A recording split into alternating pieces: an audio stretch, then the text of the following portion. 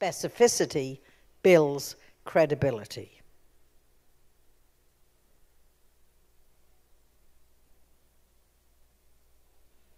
And look at all the other words that we really don't need. And I have found that some of these habits, these empty words that are fillers, don't come with one client, they come with many.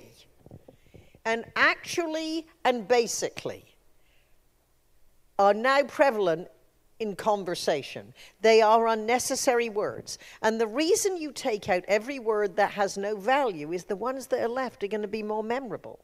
So I'll say to my clients, did you do it or did you actually do it? Did you do it? Did you basically do it? No, you did it. Remove the unnecessary words. Now, this might be more common when we go to some parts of the country and certainly in the world of technology, but you do not call your prospects you guys. Now, you probably call each other you guys. What you'll take to a formal or more stressful conversation is what you do every day. So I suggest you stop addressing each other as you guys. yeah, well, I would say you.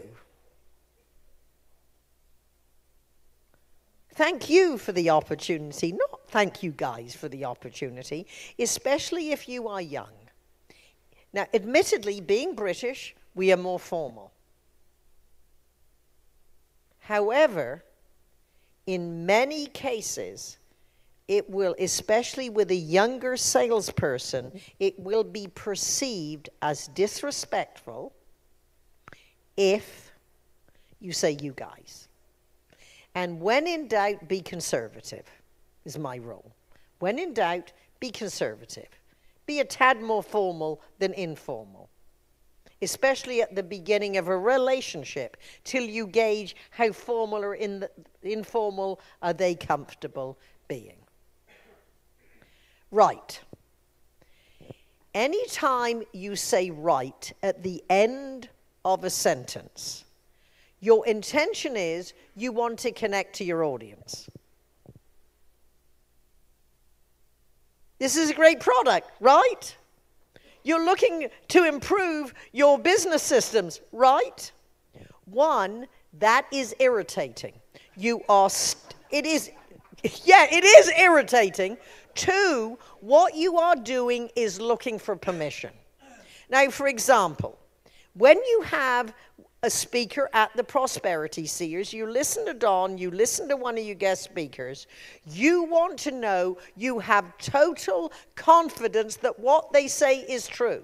When you listen to your sales manager or the president or your boss, you want to know with full confidence what they said is you can take it to the bank. It's accurate. If you keep saying right at the end of a sentence, it's almost as if, I'm not quite sure. Do you agree? I need your agreement. Plus, you're stepping on your impact phrase. Now, this is an idea that comes from the world of comedy there is a setup phrase and a punch word or punch phrase. That's what triggers the laugh. Take my wife, please. If you make any comment or add any words after the punch word or phrase, you kill the laugh. In business communications, think of it this way there is a setup phrase and an impact phrase. What comes at the end of the sentence is most important. This is not necessarily how your English teacher taught you to write, but it is the way to speak to be remembered and repeated, and speak to your audience of your audience, to have your key ideas remembered weeks after the conversation and to sound clear, concise, and credible. So, one, take a sentence from your presentations, especially the important presentations, the important lines in your presentation. You're going to edit out every word that isn't needed, actually, basically, and you are going to make sure any unit of time. Now, a unit of time is last year, in the first quarter, in this seminar, in our conversation. And the most overused impact diluting word in business communications today. Thank you for the opportunity to update you today. One, today is 24 hours, and you probably have 20 minutes. And this is an intelligent audience, they know it's today. So you don't need that word.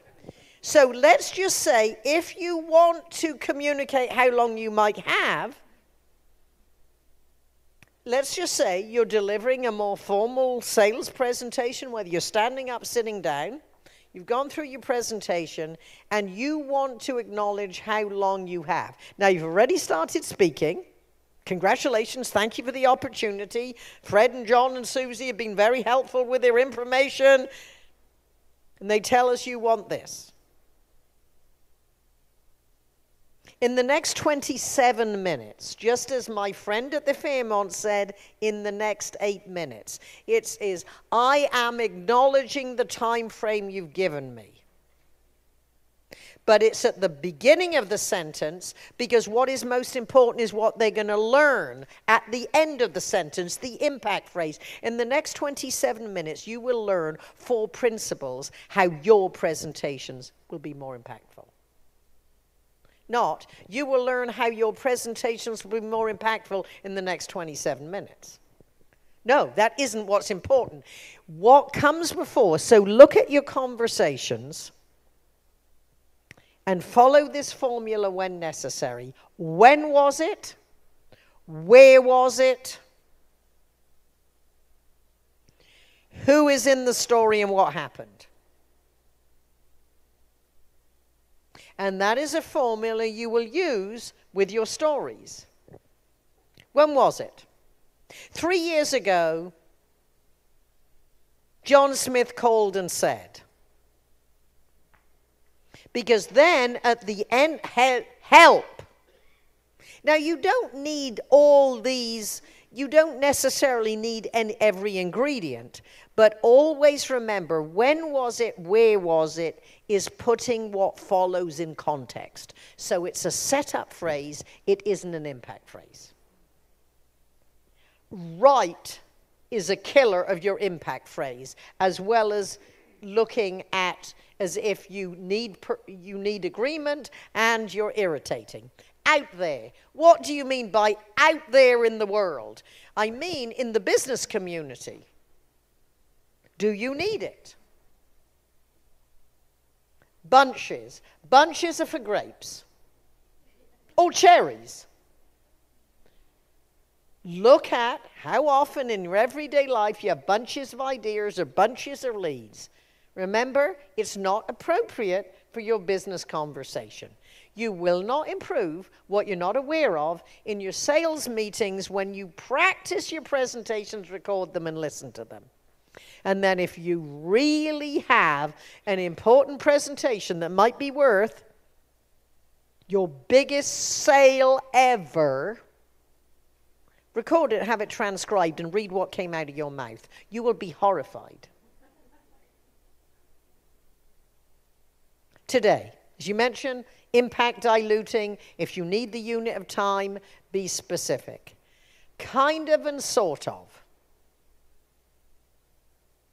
again, kind of and sort of dilutes what you're saying and does not make you look, look credible. I was coaching a banker, very prestigious background, and I said, knowing the answer, How well educated are you? He had more degrees than a thermometer. I said, Why are you such a sloppy speaker? And then he said, The people who report to me, we were all in training together. So I said, You're trying to be one of the guys, but you're not one of the guys. You need to speak in a way that shows all the others if you want to elevate your career and be in this position, this is how you speak. You don't go down to their level, you raise them up. I was coaching a technology team, salespeople and the technical staff, about being precise. And they, they said, But Patricia, our customers speak this way. and again, a brand new frippicism fell flawlessly from my lips. I said, there are better ways to emotionally connect with your prospects than modeling their bad behavior and sloppy language. If you are the best in your industry, and you always find it is the best in an industry that invest their time in, in, in learning new ideas or at least getting confirmation of what they're already doing. So if you're here, the chances are you're at the head of your game. Still not a bad idea. Novice or seasoned to revisit what you are doing and saying. But model that you are the best in your industry just by the way you communicate, no matter what they are doing. All learning requires repetition and reinforcement.